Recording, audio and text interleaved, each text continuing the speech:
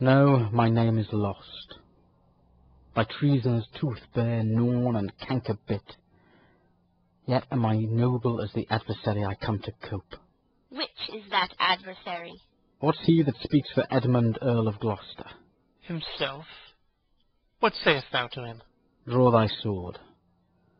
That if my speech offend a noble heart, thy arm may do thee justice. Here is mine.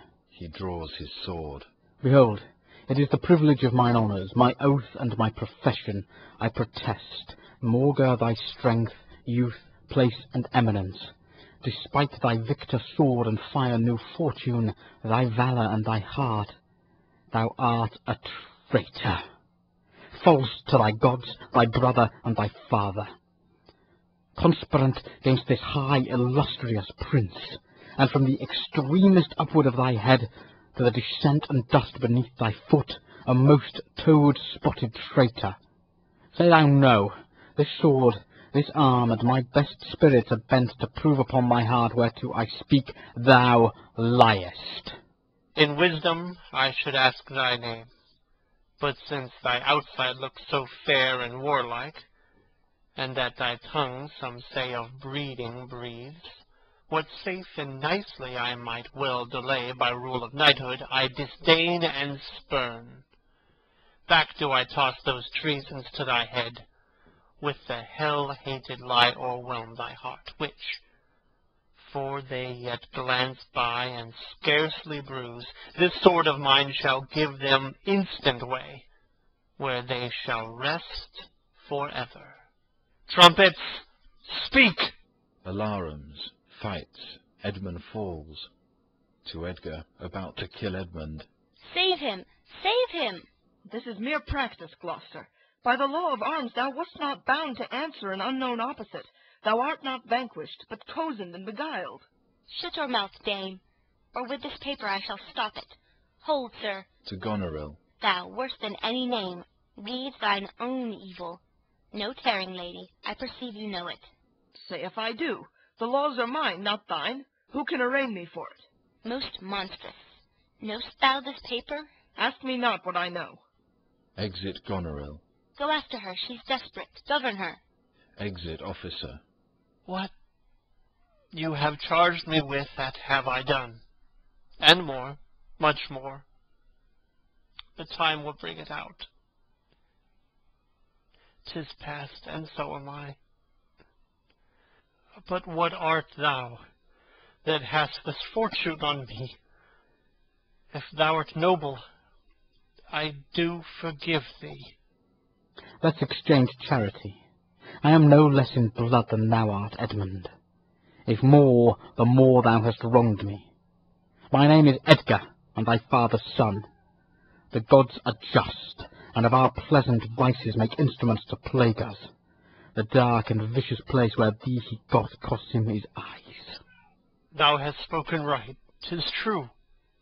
The wheel is come full circle. I am here. Methought thy very gait did prophesy a royal nobleness. I must embrace thee. Let sorrow split my heart if ever I did hate thee or thy father. Worthy prince, I note. Where have you hid yourself? How have you known the miseries of your father? By nursing them, my lord. List a brief tale. And when 'tis told, oh, that my heart would burst. The bloody proclamation to escape that followed me so near. Oh, our lives' sweetness! That with the pain of death we'd hourly die rather than die at once, taught me to shift into a madman's rags, to assume a semblance that very dogs disdained, and in this habit met I my father with his bleeding rings. Their precious stones new lost, became his guide, led him, begged for him, saved him from despair. Never, O fault, revealed myself unto him until some half hour passed when I was armed. Not sure, though hoping of this good success, I asked his blessing, and from first to last told him my pilgrimage. But his flawed heart, alack, too weak the conflict to support, to two extremes of passion, joy and grief, burst smilingly. This speech of yours hath moved me, and shall perchance do good. But speak you on. You look as you had something more to say. If there be more, more woeful, hold it in, for I am almost ready to dissolve, hearing of this. This would have seemed a period to such as love, not sorrow, but another, to amplify too much, would make much more, and top extremity. Whilst I was big in clamour, came there a man who, having seen me in my worst estate, shunned my abhorred society.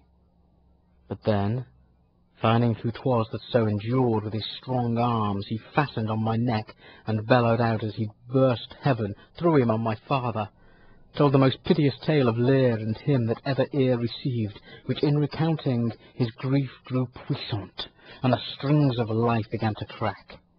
Twice then the trumpet sounded, and there I left him tranced. But who was this? Kent, sir, the banished Kent, who in disguise followed his enemy king and did him service improper for a slave. Enter a gentleman with a bloody knife. Help! Help! Oh, help! What kind of help? Speak, man. What means that bloody knife? Tis hot. It smokes. It came even from the heart of... Oh, she's dead. Who dead? Speak, man. Your lady, sir, your lady, and her sister by her is poisoned. She hath confessed it. I was contracted to them both. All three now marry in an instant. Here comes Kent. Enter Kent. Produce their bodies, be they alive or dead. This judgment of the heaven that makes us tremble touches us not with pity. Exit gentleman. I am come to bid my king and master I good night. Is he not here? Great thing of us forgot. Speak, Edmund, where's the king? And where's Cordelia? Goneril's and Regan's bodies are brought out. Alack! Why thus? Yet Edmund was beloved. The one the other poisoned for my sake, and after slew herself. Even so, cover their faces. I pant for life. Some good I mean to do. Despite of mine own nature, quickly send, be brief in it, to the castle.